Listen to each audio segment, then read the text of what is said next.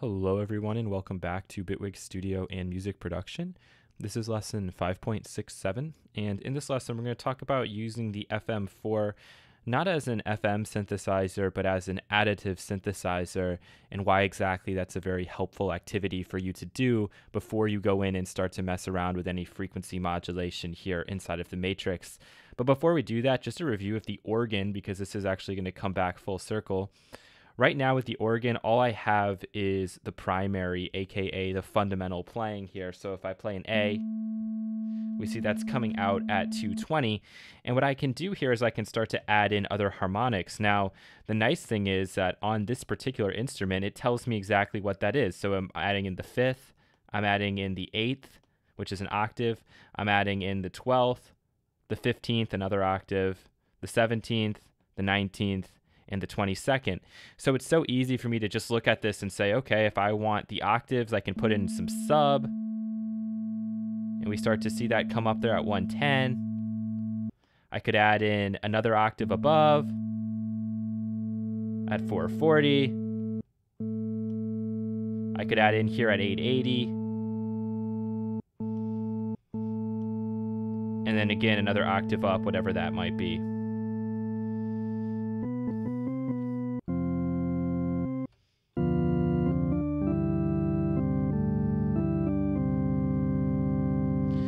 So this is only important because uh, what we're doing here is really exactly what we're going to be doing with the FM4. This is additive. We're just adding in new sine waves.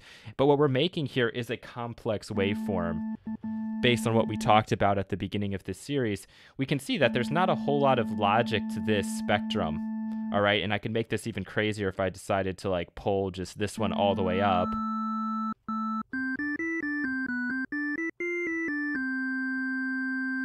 There's not a lot of logic as to why that harmonic is going to be peaking out. So when we go into something like the FM4 and I load up the initialized patch and I set this to 1 and we play our A note, we can see that coming up here at 220, all right, as the fundamental. Now, what I have the ability to do in here is I can turn on these other oscillators. These aren't working as operators because they're not applying any frequency modulation at this point, but I can start to turn up number two. And right now it's operating at a sub audio rate. But if I choose to put this up to like 0.5,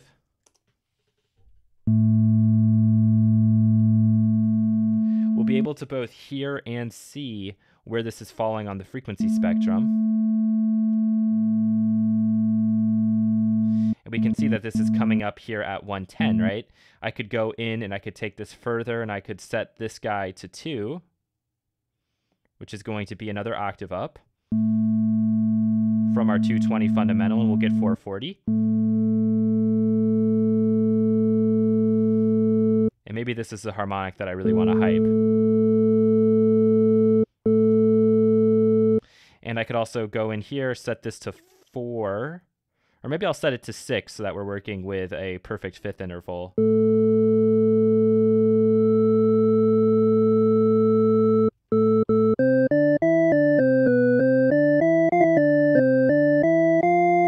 So this right here is additive, and this is what I would refer to as being a complex waveform. We can adjust these levels to taste.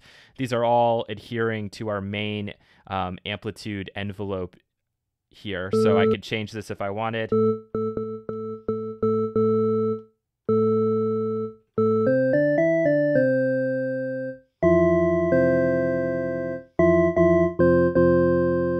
we can hear that we might actually evoke some really odd dissonances if we even play consonant intervals because of this series that we have set up.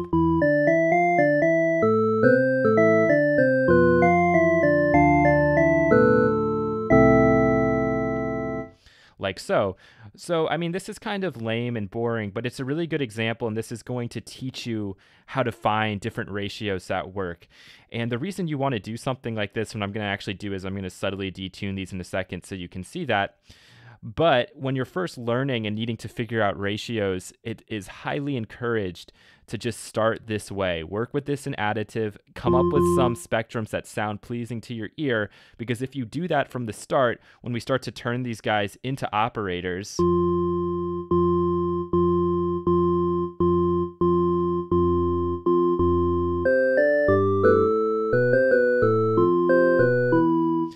start to evoke some frequency modulation, it's going to sound nice and we're going to understand that it will sound nice because of these pleasing ratios here.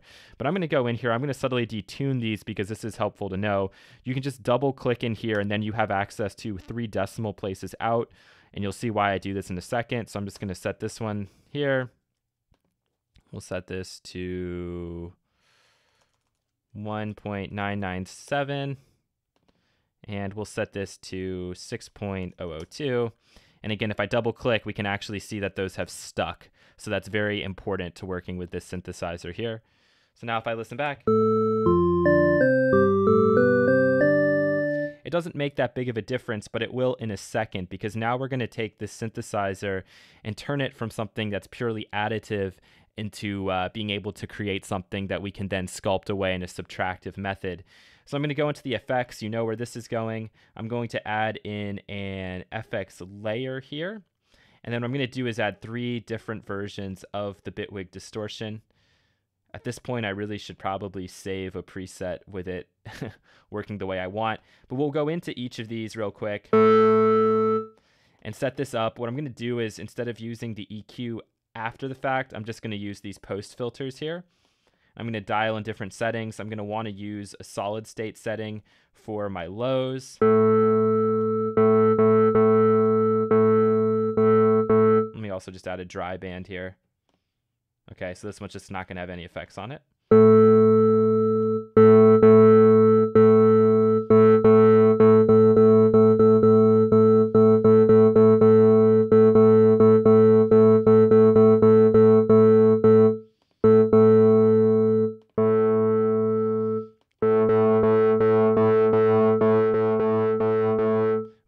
This span here.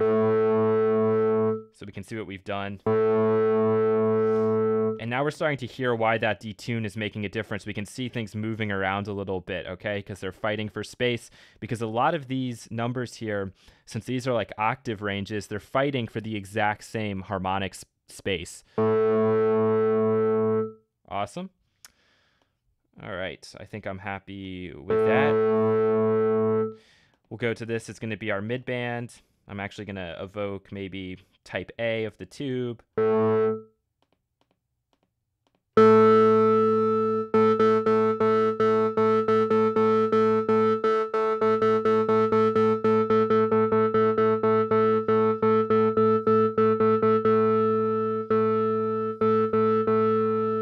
And we can see what this has done to our frequency spectrum. Maybe I'll cut out some more of the lows.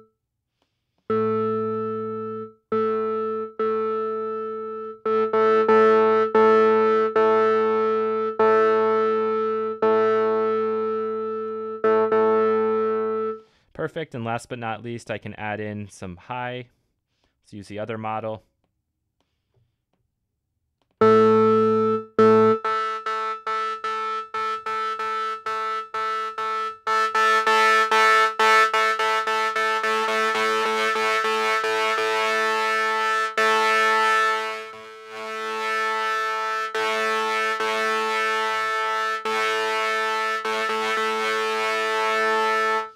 See what that's done to our spectrum. We'll just pull this probably all the way up.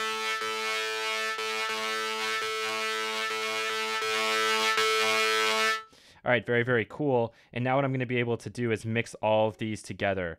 So this is still kind of working in an additive principle in that we're using distortion on our different bands. And let's see what we're able to come up with here.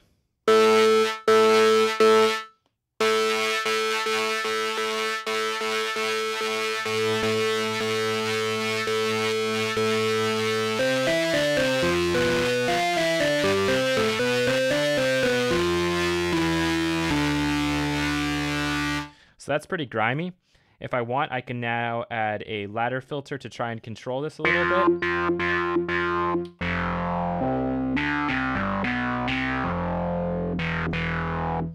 It's already set to the ADSR envelope.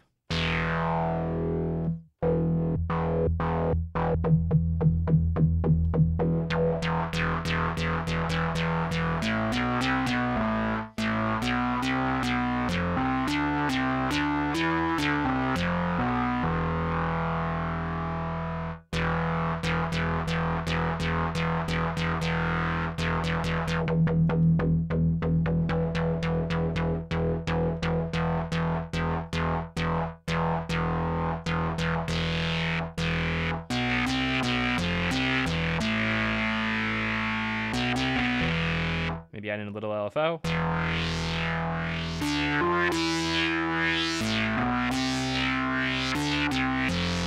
We can experiment with taking this down another octave. Or not.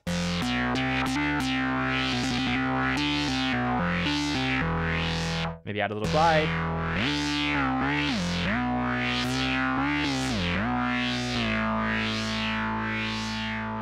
And there we came up with a very complicated wave shape uh, by just using the FM4 in an additive mode. And because these are all very nicely aligned based on our ratios, when we add in distortion, and we know that distortion, analog model distortion, is going to hype certain logical frequencies, either even or odd harmonics based on our settings, and then we could throw in a ladder filter. So this is a really cool little method of using our FM synthesizer as an additive synth going even further by throwing in parallel distortion here and in a lot of ways multi-band distortion and then using a filter to control it. So I'm only showing you all of this because I want you to go in here and play with these controls here without even thinking about the matrix, hear what sorts of sounds you can come up with and uh, let me know how that goes for you. Thank you so much for watching and you'll hear from me again in the next lesson. Take care.